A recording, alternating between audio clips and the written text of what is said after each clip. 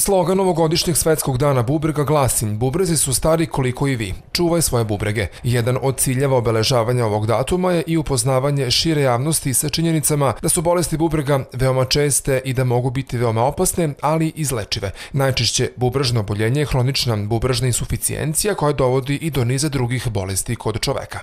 Inače, bolesti bubrega čine veliku grupu oboljenja različitog uzroka, toka, kliničke slike i naravno prognoze. Ova oboljenja su najčešće izazvana infekcijama, metaboličkim poremećajima, različitim toksinima kojima obiluje naša životna i radna sredina i drugim uzrocima, a manifestuju se kao upale bubrega, na primer glomerulonefritis, pielonefritis, nefrotski sindrom i neka druga. Hronična bubrežna insuficijencija je najčešće oboljenje koje dovodi do bolesti krvnih sudova, šećerne bolesti, povišenog krvnog pritiska, pa i prevremene smrti. Bitna je prevencija, kao i redovne kontrole zdravstvenog stanja, savjetuju lekari. Preventivnim merama možemo sprečiti ili odložiti hroničnu bubrežnu bolest. Koje bi bile mere prevencije? Pre svega kod diabetesa.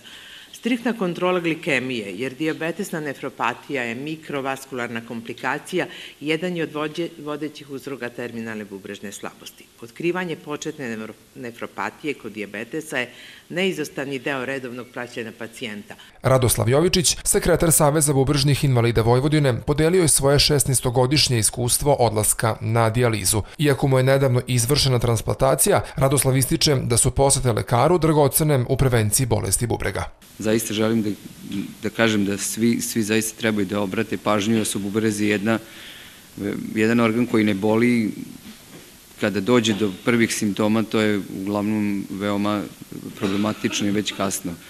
Transplantacija jeste rešenje, e, ono što takođe želim da naglasim, to je u stvari ponovno, kao i pre transplantacije i pre dijalize, praćenje pacijenata posle transplantacije. U gradskom udruženju bubrežnih invalida ističu da je otvaranjem novog dijaliznog centra u Bačkoj Topoli značajno rasterećen proces dijalize u opštoj bolnici, a poboljšan je i kvalitet iste. Međutim, jedan od najvećih problema je neadekvatna medikamentozna terapija obolelih. Moramo da ukažemo u dve, tri reči, pošto ovo je prilika kada se osvrćemo na preventivu, na one uslove da i dan danas, posle sedam godina našeg rada, e, koje manifestuje se kroz aktivnost i inicijative na teritoriji cele Republike prema državnim organima, apsolutno nisu ujednačeni standardi pred centrima za hemodijalizu na teritoriji Republike Srbije. U Severnobačkom okrugu prošle godine zabeleženo je 1138 osoba obolelih od neke bubrežne bolesti. U bolnici dijalizu trenutno prima 59 lica, a u dijaliznom centru u Bačkoj Topoli 15.